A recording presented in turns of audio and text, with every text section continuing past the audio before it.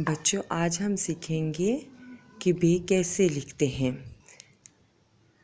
मश्क कीजिए और तस्वीरों में रंग भरें।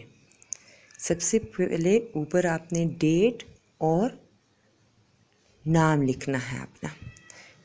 फिर हम बे लिखेंगे, दीवार, फर्श, दीवार। बे के नीचे एक नुक्ता। और फिर बेबी बे ये बिल्कुल मामा की तरह होता है, पर हाफ़ होता है मामा का।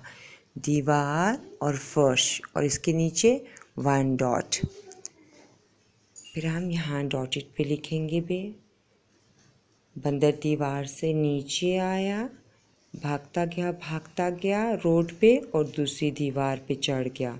बेग के नीचे वन डॉट फिर ये सारे करने आपने, फिर यहाँ पे दीवार, फर्श, दीवार। वन डॉटेड सारे बे, फिर यहाँ पे दीवार, इन बे के नीचे, इन डॉट्स के नीचे आपने इन टू लाइन्स में भी लिखना है। दीवार, फर्श, दीवार, बे के नीचे एक नुक्ता।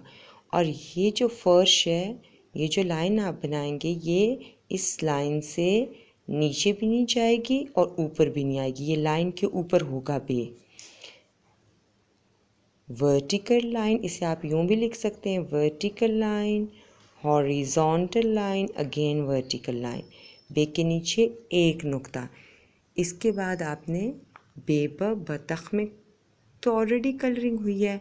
आपने बे से बाजा और बे से बिल्ली में कलरिंग भी करनी है।